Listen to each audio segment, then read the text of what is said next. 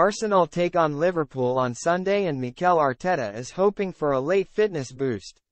Arsenal's injury mystery is set to continue heading into Sunday's huge game against Liverpool at Anfield. The club released the latest set of training pictures on Saturday afternoon following Mikel Arteta's press conference tease. Arteta claimed one of his injured players could be back in training ahead of the trip to Merseyside. However, he refused to reveal the identity of the individual. Arsenal currently have four players missing through injury. However, Mohamed Elneny and Takehiro Tomiyasu have both already been ruled out of the remainder of the campaign with respective knee problems.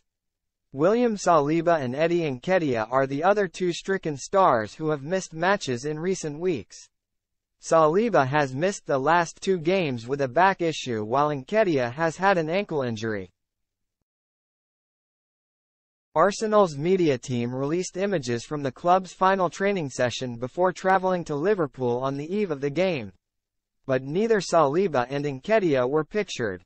Arsenal have, in the recent past, chosen not to post pictures of players in training if there is a doubt over their participation heading into a match, to prevent the opposition from getting a hint over their team selection. That could be the case this time but it may also be the fact that the player who was close to a return to training was not ready to do so. Speaking on Friday, Arteta said he was expecting to have the same squad to choose from last weekend's win over Leeds. But he admitted there was a small chance one injured star could be back. Arteta said, there are no real changes with the rest of the players who were still injured.